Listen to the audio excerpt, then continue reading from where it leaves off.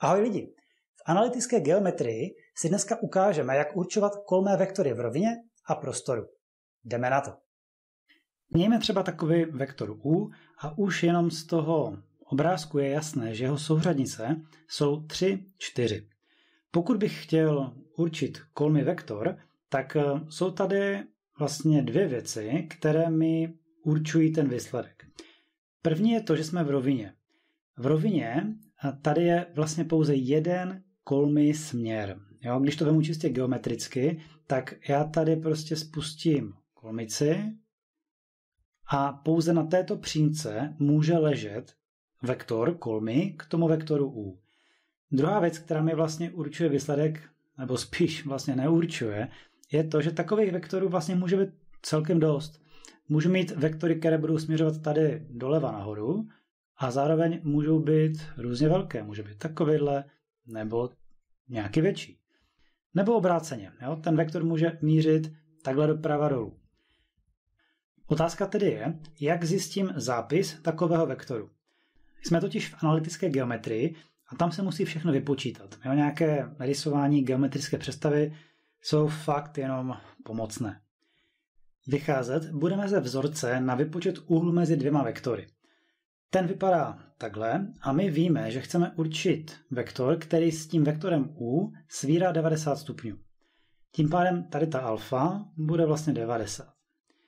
My víme, že kosinus 90 stupňů je 0. Tím pádem, pokud se 0 rovná tady tomuto zlomku, tak ta 0, aby tato rovnost platila, se musí nacházet tady v čitateli.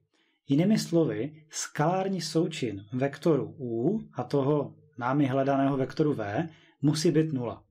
OK, takže z tohohle předpokladu budeme vycházet. Prvně si ukážeme takový spíš neobratný přístup.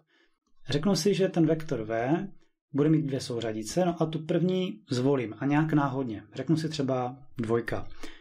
Na to druhé místo ale to číslo už volit nemůžu jen tak. Jo? Musí tady být nějaké číslo, které mi s tím vektorem u dá skalární součin 0. Takže tady si dám vy, jako y souřadnice vektoru v. Fajn, a vím, že ten skalární součin má dát 0, takže 3 x 2 plus 4 x vy se rovná 0. Tu souřadnici si tedy vypočtu. A tady to 3 x 2 to je 6, převedu na druhou stranu. 4vy rovná se minus 6. Tím pádem eh, minus 6 děleno 4 to je minus 1,5. Jo, takže tady tato souřadnice eh, bude minus 1,5.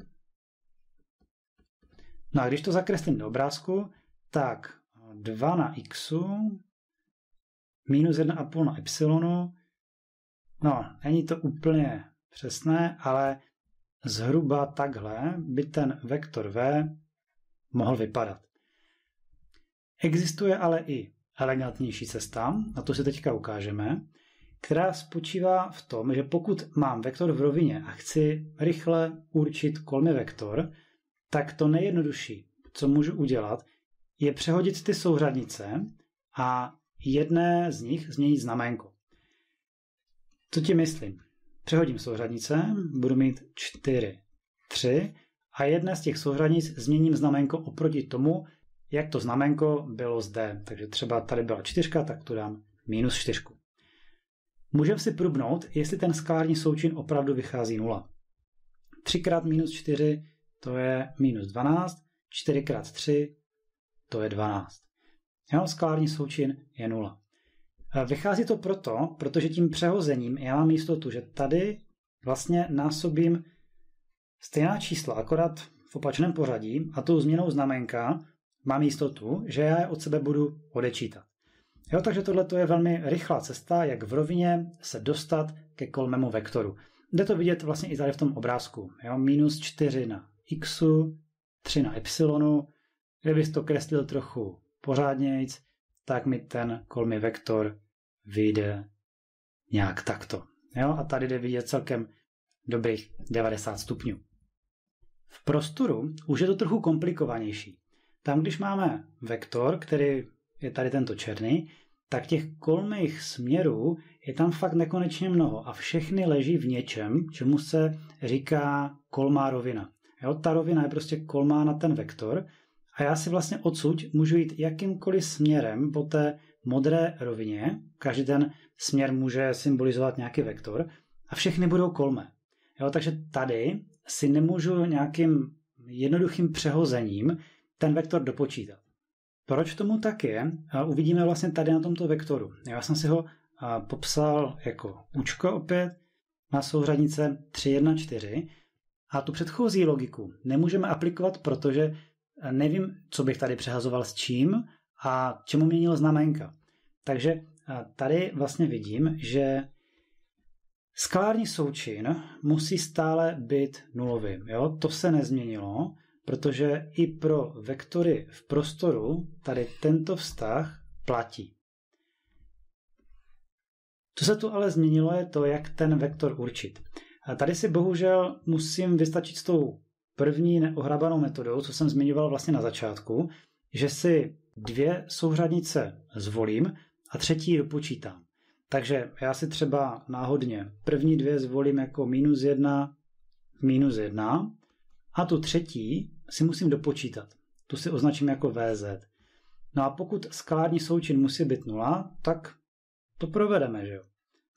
Ukrát ve skalárně musí být nula a to znamená 3 krát minus 1 plus 1 krát minus 1 plus 4 krát VZ se rovná 0.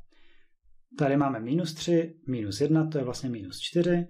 Přehodím na druhou stranu.